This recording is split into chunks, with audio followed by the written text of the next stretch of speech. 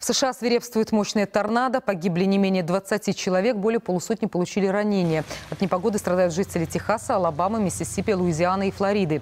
Самая сложная обстановка в Джорджии. Здесь скорость ветра достигала почти 220 км в час. Местные власти ввели режим чрезвычайного положения. Разрушены десятки жилых домов, повалены деревья, столбы электропередачи. При этом вихри обрушились на юго-восток США ночью, когда все спали. Прогнозы синоптиков неутешительные. Ураганный ветер, ливень с градом и смерч ожидаются еще в ряде американских штатов на юге страны.